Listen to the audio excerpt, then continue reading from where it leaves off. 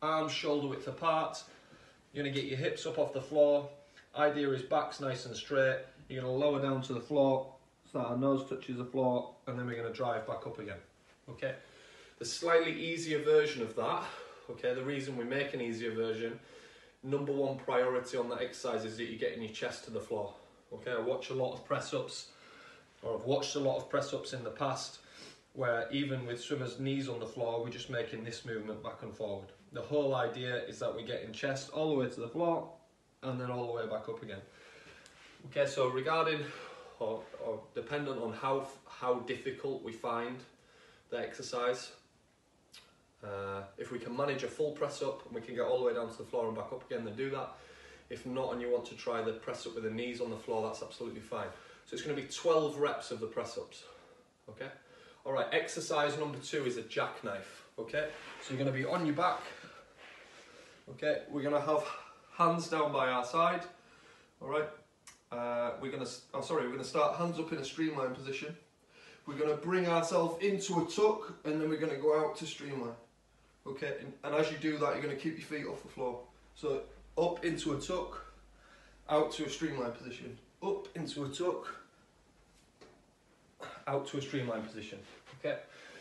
So these middle three exercises that I'm going to go through now, obviously you've got your, your press ups, which was 12 reps. These middle three exercises are all going to be 30 seconds. Next exercise. Okay, so it doesn't have to be a brolly, doesn't have to be a, uh, can be a broom handle, can be a golf club, just needs to be something straight. Okay, you're going to lie down either on a chair or on a bench. Okay. We're going to start with a backstroke kick, so nice straight legs, backstroke kick. And as you're doing that, we're going to work coordination and we're going to try and press the bar off our chest. Okay. So the leg kick stays continuous all the way through and we're going to push the bar up and down. Okay, that's 30 seconds on that exercise. Next exercise after that, we're going to move to dips. So we can use the same uh, platform, same bench, same chair, whatever we use for the uh, backstroke kick and press. So you start, hands shoulder width apart. All right, there are, again, there are two options here. You've got legs straight out.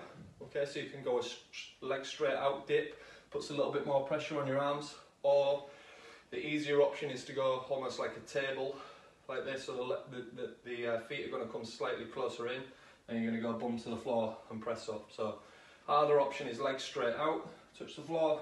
Easier option, feet in, touch the floor. Okay, 30 seconds on that one. Okay. Final exercise there, we're to go 12 leg raises. Okay, so we're to be on our back.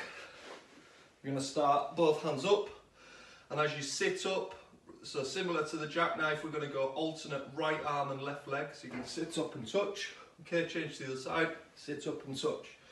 Sit up and touch. Sit up and touch.